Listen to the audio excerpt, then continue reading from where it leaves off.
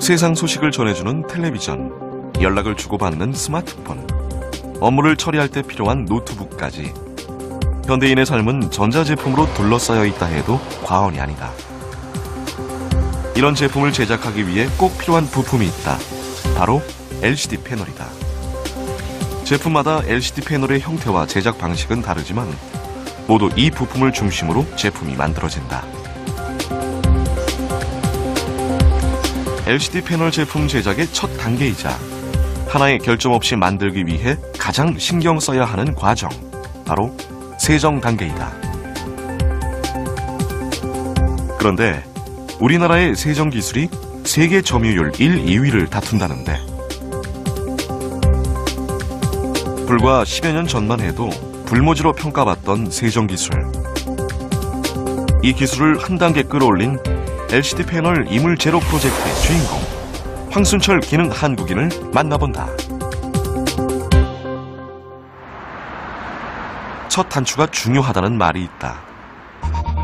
첫 단추를 잘못 채우면 아무리 노력해도 다른 단추들도 잘 채우기 힘들다는 뜻으로 무슨 일이든 시작이 가장 중요하다는 의미이다. LCD 패널 제품 제작의 시작은 바로 세정 작업이다. 작은 이물 하나가 묻어도 곧 제품 분량이 될 수 있기 때문에 상당히 정밀함을 요구한다. 패널 같은 경우는 저희 핸드폰에도 들어가고 노트북에도 들어가고 뭐 TV도 들어가기 때문에 먼지 하나가 그 픽셀의 그 크기가 굉장히 작잖아요. 근데 먼지 하나가 거기 묻게 되면은 그 픽셀이 안 보이게 되잖아요. 그렇기 때문에 저희는 자세하게 예, 정밀하게 검사를 하고 있습니다. 만약 이물질이 묻은 상태에서 제품이 제작된다면 화면이 선명하지 않고 얼룩져 나올 수 있다. 그야말로 불량 제품이다. 이처럼 제품의 상태를 크게 좌우하는 만큼 세정 작업은 몇 단계에 걸쳐 진행된다. 브러쉬로 1차로 물을 뿌리면서 닦습니다. 닦고 큰 부유물들은 밀어냈습니다. 그 다음 이쪽 앞으로 와서는 회전하면서 판넬에 더 미세하고 떨어지지 않는 부유물들을 지금 제거를 하고 있는 중입니다. 앞면과 뒷면을 그 동시에 닦아야 됩니다. 그래서 지금 현재 앞면을 닦았고 뒤집는 공정입니다. 뒤집어서 이쪽 인덱스에서 다시 뒷면을 닦는 것이죠. 물 세정을 거쳐 연마포를 사용해 패널 표면에 단단하게 붙은 이물들을 갈아낸 후 또 한 번의 물 세척 단계를 거친다. 이후 고압의 바람을 분사해 패널 표면에 남아있는 물기들을 완벽하게 없애면 총 6단계에 걸친 세정 작업이 완료된다.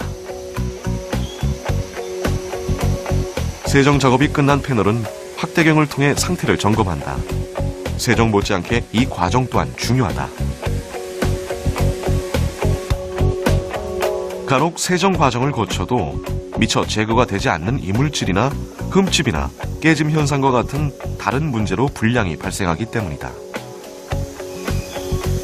이게 약간 사행이 생겨서 지금 나오고 있거든요. 어, 지금 판넬이 깨졌어요. 불량으로 판정된 패널은 따로 빼내어 정밀 검사를 통해 원인 분석을 한다. 지금 그 17번이 어떤 화면인지 좀 확대를 좀 하는 거죠. 이거 같은 경우는 얼룩 같은 게 묻은 거거든요. 이제 세정해서 이제 약간 이제 세정이 덜 된 상태. 네, 그런 거는 이제 블랍 처리를 해서 한 이물로 잡아서 네, 저희가 이제 NG로 판정을 내린 겁니다. 흠집이나 물기, 먼지나 지문 자국이 조금이라도 남아 있다면 이 과정에서 걸러진다고 한다. 머리카락의 약 7분의 1 정도의 그렇게 가는 제품도 다 여기서 어, 골라냅니다. 사람 눈으로 식별하기 어려운 그런 어, 이물들도 이 장비에서 어, 확인이 가능하고 불량으로 빼낼 수가 있는 것입니다. 이렇게 불량이 나올 경우 대부분은 다시 한번 세정 과정을 거치게 되지만 흠집과 같이 세정을 하더라도 해결하기 어려운 경우에는 패널 자체를 폐기할 수밖에 없다.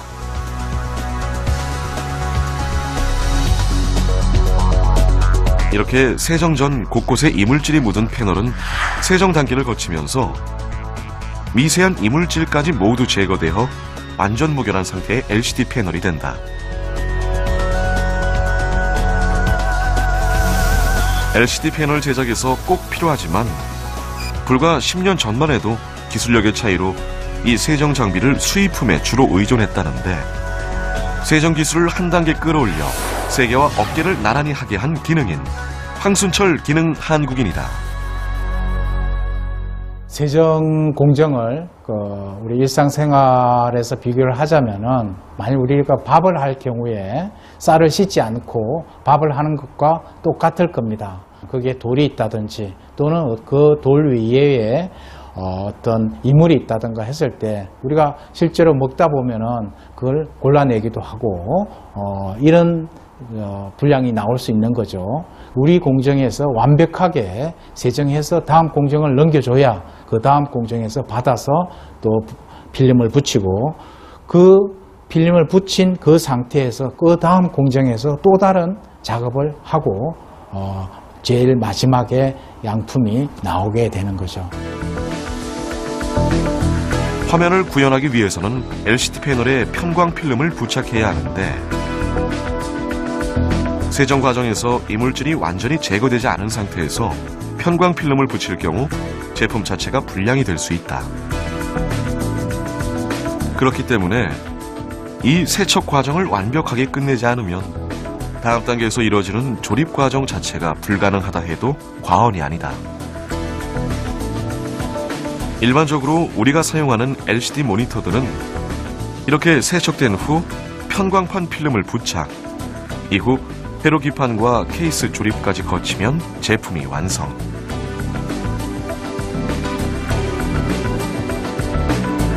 이후 디스플레이 작동 테스트를 통해 불량 여부를 확인한 다음 텔레비전, 컴퓨터 모니터, 스마트폰까지 다양한 형태로 소비자들에게 판매가 되는 것이다.